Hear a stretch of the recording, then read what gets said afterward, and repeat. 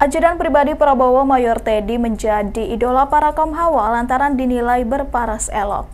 Bahkan Mayor Teddy kerap menjadi sasaran emak-emak dengan mencubit pipinya. Namun ekspresi Mayor Teddy terlihat seolah tidak nyaman hingga matanya langsung melotot. Adapun momen itu terekam saat Mayor Teddy mendampingi Prabowo menghadiri acara pernikahan anak Menteri Pertanian Andri Amran Sulaiman. Sebagai informasi, acara pernikahan itu diadakan pada Minggu 3 Maret malam yang dihadiri oleh oleh sejumlah pejabat penting, termasuk Prabowo Subianto yang hadir dengan kawalan dari Mayor Teddy. Lantas, beredar video di media sosial yang memperlihatkan pipi Mayor Teddy tiba-tiba dicubit oleh emak-emak.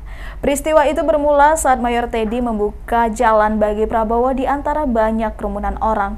Secara tiba-tiba dari arah samping muncul tangan yang mencoba mencubit pipi Mayor Teddy. Ajudan Prabowo itu pun secara spontan langsung berpaling dan menunjukkan mata melotot. Video tersebut menuai banyak respons dari netizen. Beberapa di antaranya mengkritik sikap emak-emak yang dinilai tidak sopan. Ikuti terus berita menarik lainnya. Jangan lupa like dan share seluruh akun Tribun Medan. Download Tribun X sekarang. Menghadirkan lokal menjadi Indonesia.